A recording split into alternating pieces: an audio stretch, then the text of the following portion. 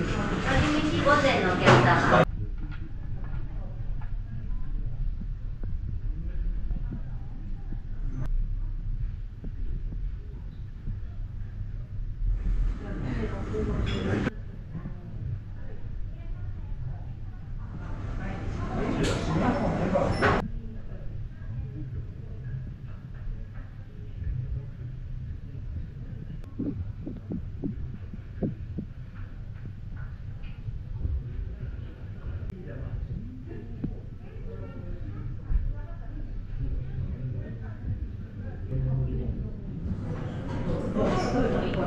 내가 그냥 죽는 거 같은데.